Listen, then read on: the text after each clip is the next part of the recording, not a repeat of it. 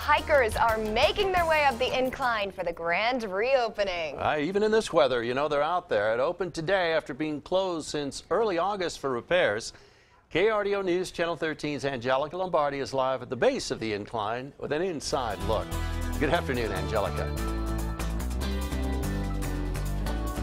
Good afternoon, John and Dana. Well, unfortunately, the snow is really starting to set in now, so we haven't seen too many people go up, but you can see one person's going up right now. But earlier this morning, it was packed. People lined up as early as 7 a.m. to get up on this incline, and many people tell us they're excited for these new improvements. The wait is over. Ah, Super really excited. excited. Very excited, yes. Been waiting for three months.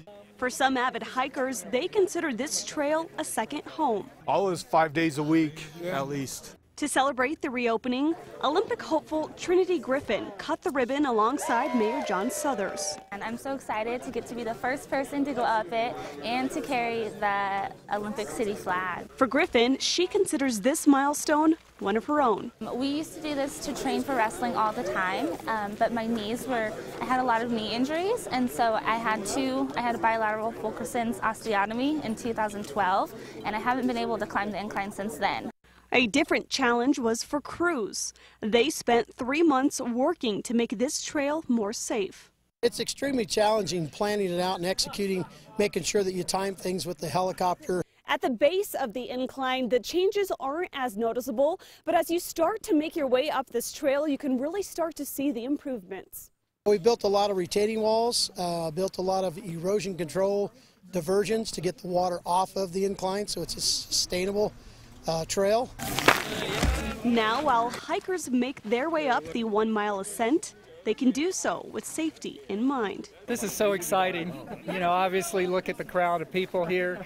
There's a lot of excitement. Uh, this is such an asset to the community. It won't stop there. More improvements are on the way. The city was granted a $2 million fund for repairs next year. Um, because, you know, do they want us to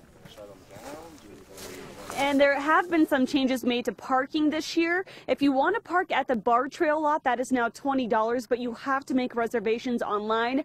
And if you don't make a reservation and buy a ticket, you will be fined $70.